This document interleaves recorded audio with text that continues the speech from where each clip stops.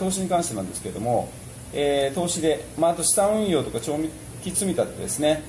で2000万円貯めると、まあ、これはですねあのいろいろな方法はもちろんあるんですけれども、まあ、もしあなたがコツコツやっていくのであれば例えば、えーと、SP500 ですねインデックス投資、まあ、これは楽天証券とか SBI 証券で日本にいるいらっしゃる場合ですけどもしあなたが海外に僕のように海外にいる場合はブーム証券がいいんですけどもえーと、ネット証券を開いてこれで、えー、手数料がほとんどかからない状態にします。で、えーと